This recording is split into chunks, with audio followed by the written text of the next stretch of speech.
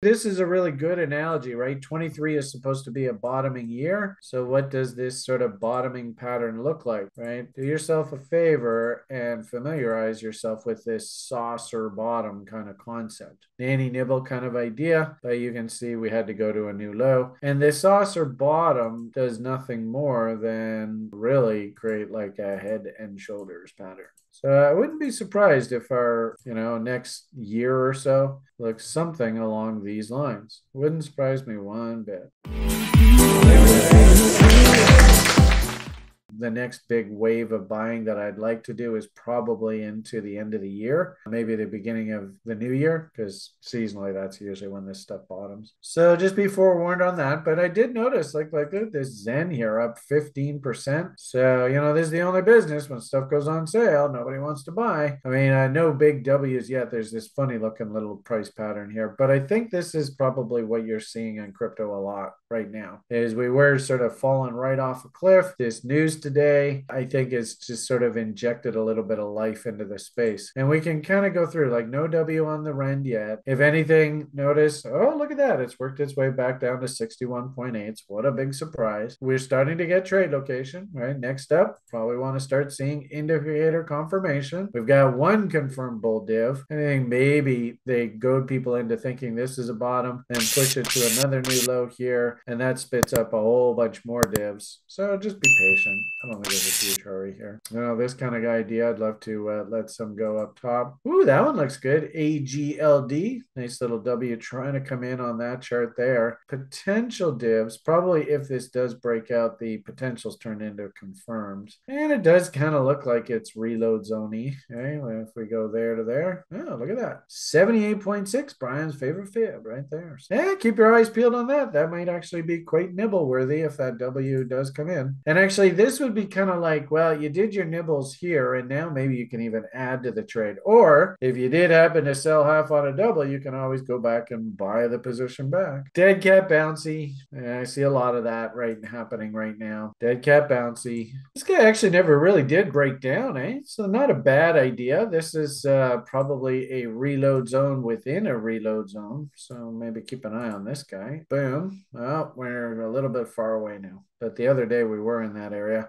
I don't really have any buy signals here. So eh, maybe be patient, but um, you can see reload zones within reload zones. You know, Brian absolutely loves that. It's been a while since we've actually been able to talk about reload zones in reload zones. So that's a, that, and that usually only happens after a really nice consolidation, right? You don't get the reload zone within reload zone when we're screaming up like this. That just doesn't happen.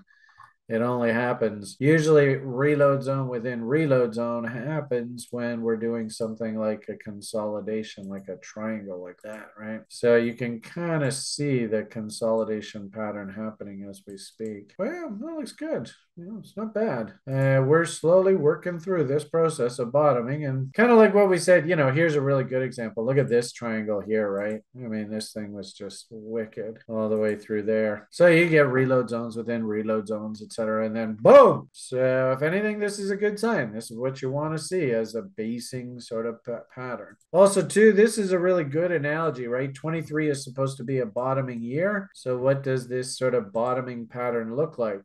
Right? Do yourself a favor and familiarize yourself with this saucer bottom kind of concept. So you can see I did, uh, in fact, actually, I bought, I guess, a bit of that there. Was that there? Nanny nibble kind of idea, but you can see we had to go to a new low. And this saucer bottom does nothing more than uh, really create like a head and shoulders pattern. So I wouldn't be surprised if our um, you know, next year or so looks something along these lines. Wouldn't surprise me one bit. You know, coming out of September here, uh, coming back from the Labor Day weekend, the fact that the market's so weak uh, there and now is trying to reverse back up, and you know, your Bitcoin is bounced off of its neckline. It's going to work its way up into uh, right shoulder levels. Eh, you might have a nice little rally window here. It's about time, eh? So good to see. I'm a little concerned that you know, especially on things like crypto, and you know, you go on social media, and uh, you know this up day, all we've done is just rallied right into moving average resistance and trendline resistance, and we've stopped here. I'm a little worried that the public is, you know, going to come out and be like uber insanely bullish here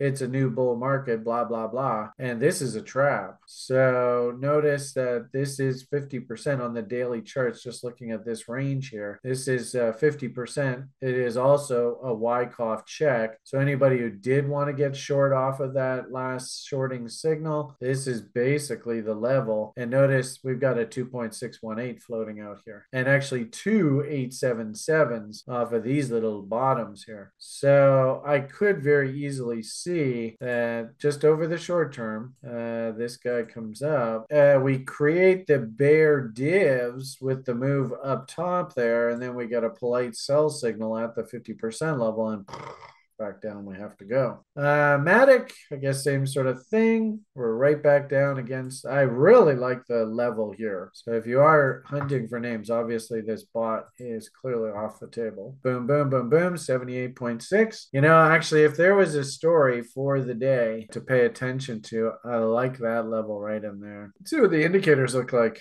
Eh, Willie's stupid. RSI is trying to break out here there to there. We got our original M, uh, which sort of told the Bears to cool their jets. I would like to see another W come in here to actually frame a buy signal. So keep your eyes peeled.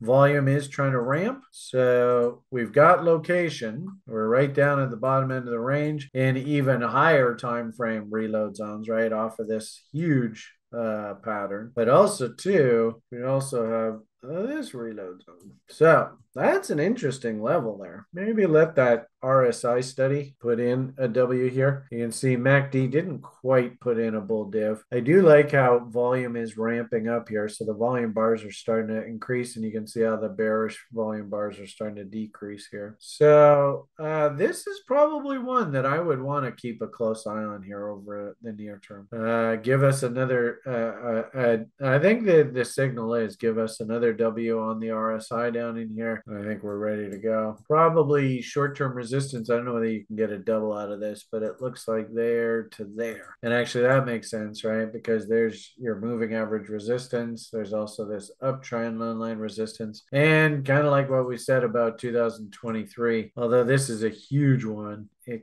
kind of looks to me like this and actually, that's a yeah, that's a lower low there. So no, it's not a uh, head and shoulders. This, if anything, might be uh, uh, David might call this like an Adam and Eve. So this would be your Adam, and then we'd want like a little Eve down in here. Hopefully, uh, we get the counter trend rally back into resistance like so, and maybe ideally you'd love to just have a nice tight little consolidation. But the Eve would be sort of like this is Adam and this is Eve like that. So we'll see whether we can rally back up here. And then the question ultimately is this is 50 some odd cents, and that's 80, 90 cents. So not quite a double, but pretty close.